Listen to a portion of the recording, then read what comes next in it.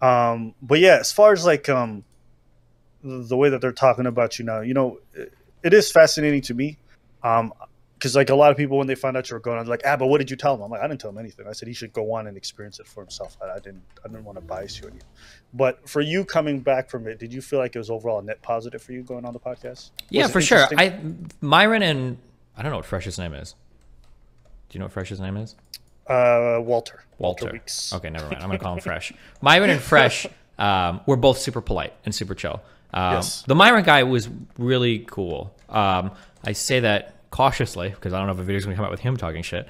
but um, he, I, regardless of what I think about like their views and everything, that Myron dude is like super dedicated to everything on that podcast. Like, um, I think I mentioned yesterday on stream, like this guy, I asked him afterwards because we all went out to eat. And I was like, do you have like a background in like audio video shit? And he's like, no, I, you know, I worked for the DHS, like did like, you know, busted like trafficking rings and shit. But like when we were, I, cause I remember sitting there watching as he was like going around, he was like checking every single camera. He was asking for like, I need a prime lens for this. I need a zoom lens for this. Like we need to move that for that. We need to get the chairs out of the background. We need to make sure they don't have a hat on because it's going to block these people. Like he was going, he like, he seemed very, very, very dedicated to walking around and getting everything. So I have a lot of respect for him in terms of setting his shit up. And to be fair, they've done really well for themselves. That podcast, I don't even think is two years old.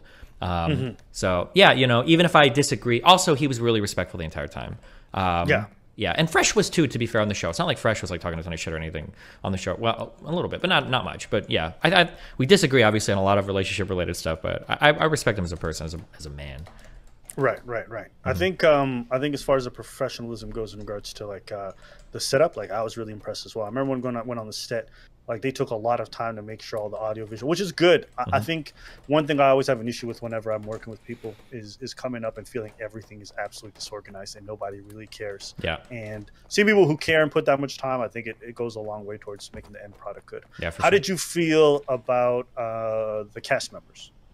um, Fresh, Fit, Fresh and Fit, and Chris are like the girls. Okay, well you can go with the dudes and then you can go with the ladies afterwards. Um, I don't. I'm. I don't. I, I feel like for. Whew, okay, let me try to phrase this in the friendliest way possible. For like the high IQ, super like off the wall shit. Um, I think that's obviously where Myron I think excels. That seems to be like what he enjoys doing. So that back and forth with him is cool. Fresh seems like a friendly dude. It doesn't seem like that's as much his wheelhouse. Like he's not there to have like the high powered fucking debating on that shit. Um, so yeah, so the fit guy was really cool. Fresh guy seemed okay.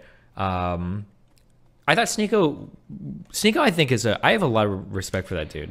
Um, I think he's a little misguided, but like I think he's pretty socially aware. A lot of my uh, subreddit was like laughing at him, saying, and I think even in the Fresh and Fit subreddit, like, oh, Sneako shut the fuck up the whole time because he was intimidated. I think Sneako had been on that show three times in a row, and he saw that like me and Myron were gonna go back and forth a lot, so he just like chilled. I think it's really difficult for a guy, especially like him, to be able to just like chill for a moment and not constantly have to be the center of attention. So I think I think he was doing that intentionally. I had a lot of respect for that. Um, And then yeah, the girls were holy yikes, dude, Jesus Christ, that was a yeah. Uh, Sneako's also a young man. I think He is too. He's 22, 24. 24, yeah. 24, and you trying to talk to grown women and they can smell that you're young. They just don't care when you talk. Uh-huh. To be honest, that's one thing. That's one thing that's very real. It's like as a young man, you try to talk to older women and they look at you like, bro, you ain't, you're 23. Like, what are you even talking about? No Well, to hear this. Yeah, maybe for some older. I don't know about for the Miami people. I think it just comes down to your whether you're verified on Instagram or whatever. I think it's a little different. But, Or you got money. or you got money. I Yeah, yeah, yeah. But no, yeah. So in general, hap- I get it. Yeah. So what happened? All right. Bye. Remember to hit that like and subscribe and don't forget the notification bell so that my videos show up right in your feed.